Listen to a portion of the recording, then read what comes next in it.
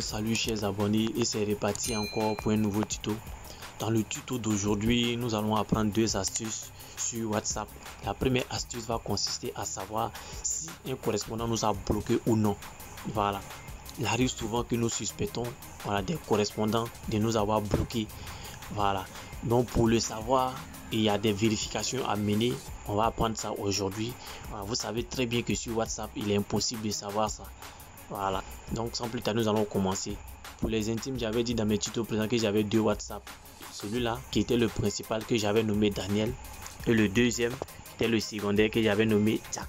C'est comme si j'avais deux téléphones voilà, indépendants puisque chaque WhatsApp est sur une puce. Voilà, donc je peux échanger avec les deux WhatsApp comme si j'échangeais avec un correspondant. Voilà. Sans plus tarder, nous allons commencer. Supposons que c'est celui-là mon correspondant. Avant que celui-là ne me bloque, je vais lui envoyer un message et je vais vous expliquer certaines choses à retenir. Et après, Jack va bloquer Daniel. Et quand Jack va bloquer Daniel, on va essayer de reprendre encore l'envoi du message et je vais vous expliquer maintenant les différentes remarques à faire pour savoir que Jack vous a bloqué. Donc sans plus tarder, nous allons commencer. On lance le WhatsApp. Nous sommes là. Daniel va chercher Jack. Voici Jack. Voilà. Donc on envoie salut Salut mon frère. On dit quoi? Voilà. Vous voyez, la notification est sortie. Donc, Jack a reçu la notification. Jack n'a pas encore ouvert le message. Maintenant, regardez, j'explique quelque chose. Remarquez très bien quelque chose. Déjà, dans le fil de discussion, vous allez remarquer qu'il y a deux V.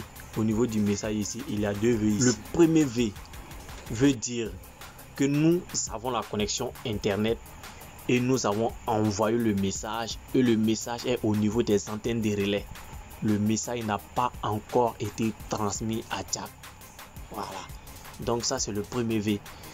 Le deuxième V veut dire que le message a été distribué ou a été lu. Parce que les deux V peuvent devenir plus si la personne n'a pas désactivé la confirmation de lecture comme les deux V peuvent rester aussi comme ça sans devenir bleu, ça voudrait dire que la personne a désactivé la confirmation des lectures. Voilà, donc comme ça, on peut pas savoir si Jack a lu le message ou non. Mais nous avons un indice. Nous, on sait que Jack a reçu le message. Très bien. Maintenant, là, c'est première des choses à regarder. Vous devez retenir ça d'abord. Après quoi, remarquez sur le profil de Jack. Vous voyez l'escargot, c'est la photo de profil de Jack qui est là. Donc retenez la photo de profil. C'est très important pour la suite. Donc on fait un retour. Je vais sortir. Et je viens. Jack va lire le message. Voilà, Jack a lu le message. Ok, Jack va bloquer maintenant Daniel. Et on va reprendre le même processus. Et je vais vous expliquer certains éléments. Voilà. Donc Daniel a été bloqué. Très bien. On reprend. Donc Daniel va essayer d'envoyer un message à Jack. Une première remarque déjà. Je vous avais dit de remarquer la photo de profil. Vous avez vu? Déjà la photo de profil n'est plus visible. Tout ça parce que Jack nous a bloqué. Vous avez vu, ça c'est le premier élément à remarquer. Maintenant, au niveau maintenant des discussions, si j'écris le même message, salut mon frère, on dit quoi? Je l'envoie.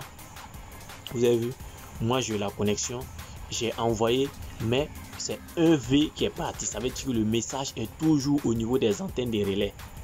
Mais cet élément n'est pas pertinent. Pourquoi? Parce qu'il se peut que Jack n'ait pas la connexion. Donc Jack n'a pas encore reçu le message. Vous avez vu? Donc pour dire que c'est un élément à remarquer, mais il n'est pas pertinent. Mais je vous le montre quand même. Si vous savez que la personne a Internet, là, le, cet élément devient pertinent. Maintenant, après ça, j'ai déjà expliqué pour la photo de profil. Pour la photo de profil aussi, c'est pas aussi un élément trop pertinent. Pourquoi? Tout simplement, il y a des personnes qui peuvent par exemple aller ici, je fais ça rapidement, s'il vous plaît, ils peuvent aller dans les paramètres et ils vont dans confidentialité.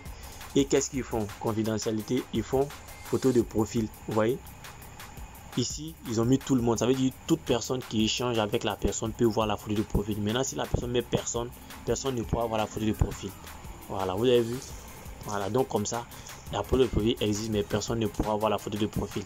Donc, pour dire que l'élément de la photo de profil n'est toujours pas pertinent. J'explique tout ça pour que vous compreniez. Voici l'élément le plus pertinent à regarder pour savoir si vraiment Jack nous a bloqué. Qu'est-ce qu'on va faire? On va sortir carrément et on va chercher à créer un nouveau groupe. Voilà, donc Jack, j'ajoute une personne, j'ajoute cette personne, nous sommes trois dans le groupe. Donc on fait suivant. Donc ici, on va chercher un nom. Je mets test 1. C'est le nom du groupe. Donc je fais ça. Voilà, remarquez que test 1, ils ont mis Abba, la deuxième personne que j'ai ajoutée et moi. Ils ont mis Abba, virgule vous. Ça veut dire nous sommes deux dans le groupe. Jack n'est pas dans le groupe. On peut cliquer là pour vérifier. Vous avez vu? Voici Abba. Et me voici, je suis l'administrateur. Donc nous sommes deux seulement dans le groupe. Voilà. Vous avez deux participants. Ça veut dire que Jack n'est pas dans le groupe. Ça, c'est de 1. Maintenant, regardez. Ici, vous pouvez dire que, ok, mais qu'est-ce qui prouve que non, que Jack est... On va aller vérifier maintenant. Vu que nous avons vu, vu qu'on nous a dit nous sommes deux alors qu'on a ajouté Jack, on va encore se jouer les têtus et aller chercher à ajouter Jack. Et vous allez voir. Donc, je clique sur le groupe. Donc, je viens là. Je viens dans ajouter un participant. Et je fais Jack et sélectionne, je fais V. Vous avez vu? On me dit impossible d'ajouter Jack. Là, il n'y a plus rien à dire. Tout est clair maintenant. Jack m'a bloqué. Ça, c'était pour vérifier si Jack nous a bloqué vraiment. Donc, vous avez vu. Donc, si vous suspectez qu'une personne vous a bloqué, voilà, voici les différents éléments voilà, à essayer de vérifier Là, au moins, vous avez au moins une preuve voilà, du fait que la personne vous a bloqué. Voilà, donc je récapitule rapidement. La photo de profil est un élément, mais l'élément n'est pas pertinent. Pourquoi? Parce que la personne peut ne pas rendre visible sa photo de profil et ce dans les réglages. Et j'ai aussi parlé aussi de la confirmation. Voilà, j'ai aussi parlé aussi du V. Voilà, j'ai dit que le V était un élément aussi à regarder, mais il n'était pas pertinent parce que la personne peut ne pas avoir de la connexion Internet. Et dans des pareilles situations, la personne ne peut pas avoir les deux V. Voilà. Donc l'élément le plus pertinent reste toujours l'élément qui consiste à créer un groupe et à ajouter la personne concernée. Donc c'est ici prend fin cette première partie voilà, de cette astuce WhatsApp. Nous allons passer maintenant à la deuxième astuce qui consiste à faire un réglage pour mieux économiser nos données Internet. Nous allons commencer et pour ce faire, on va aller sur les trois barres qui sont en haut à droite de l'écran. On clique et on s'intéresse à paramètres. Vous voyez ici, on va venir sur le titre utilisation, données et stockage. Vous voyez, on clique dessus. Donc ici, on nous dit en utilisant les données mobiles. Voyez, on clique dessus. Ici, ça veut dire quoi? Lorsque vous utilisez les données mobiles, photo, audio, vidéo, documents, tout ça sera téléchargé automatiquement dans votre galerie. Et quand c'est comme ça, ça épuise les données.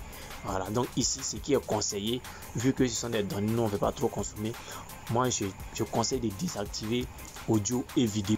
Voilà, vous voyez, ils ont mis maintenant photo et documents.